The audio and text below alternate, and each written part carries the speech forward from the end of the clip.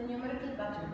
We have to know that we have to check every time the numbers that he gave to us to know the numbers, the pattern that I will choose. We can add, we can multiply, we can divide, or we can jump by tens. So let's check some examples here. 2, 4, 8, 16. He wants to answer of these words. So we can double the number. 2 multiplied by 2, it will be 4. 4 multiplied by 2, it will be 8. 8 multiplied by 2, it will be 16. So 16 multiplied by 2, it will be 32. 32 multiplied by 2, it will be 64. So each time we multiply by 2. In each part, I will multiply by 2 to get the result of the part that I want.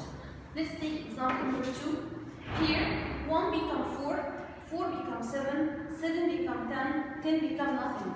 Okay, I want to know the missing number. Here, if I add 1 to what to get a 4, to, uh, to get 4, 1 added by 3 equal 4.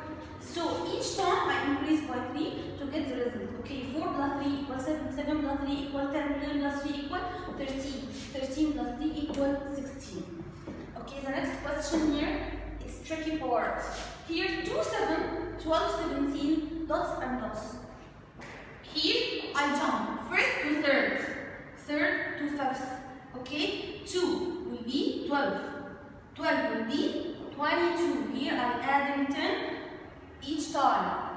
Same down, 7 will be 17, 17 will be 27. So each time I add by 10 on the tens place. Okay, the next question. The first number is 5, 7, 9, 11. It's the odd number but started by 5. 5, 7, 9, 11, 13, 15. Like me, if we start by the even number, 2, 4, 6, 8, 10, and so on. Okay, here, 1 times 1, 2 times 2, 3 times 3, it will be 4 times 4, 5 times 5, 6 times 6, 7 times 7, and so on to the end of the question. Here, this part is also tricky. 1 times 2, 2 times 4, 3 times 8.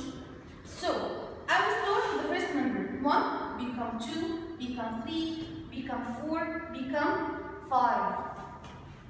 With the second number, 2 become 4, 4 become 8.